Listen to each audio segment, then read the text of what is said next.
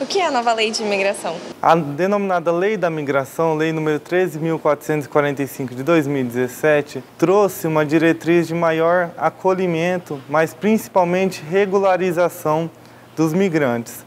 A nova lei de imigração vai, pode sobrecarregar os programas sociais e roubar o emprego dos brasileiros? A nova lei ela não tem a intenção de abrir as fronteiras. Pelo contrário, a nova lei ela vem, ela busca a regulamentação daqueles migrantes que venham aqui. O Brasil ele tem um histórico de receber migrantes. Né? Nós somos uma geração que é, descendemos aí de, de uma migração italiana, espanhola, portuguesa e, portanto, nós, naquela oportunidade, nossos ascendentes receberam a oportunidade de permanecer aqui no território é, brasileiro. A nova lei dá mais direito para os migrantes do que para os brasileiros? Não. Na verdade, nós temos a Constituição brasileira que garante né, os direitos tanto aos brasileiros quanto aos estrangeiros residentes no Brasil.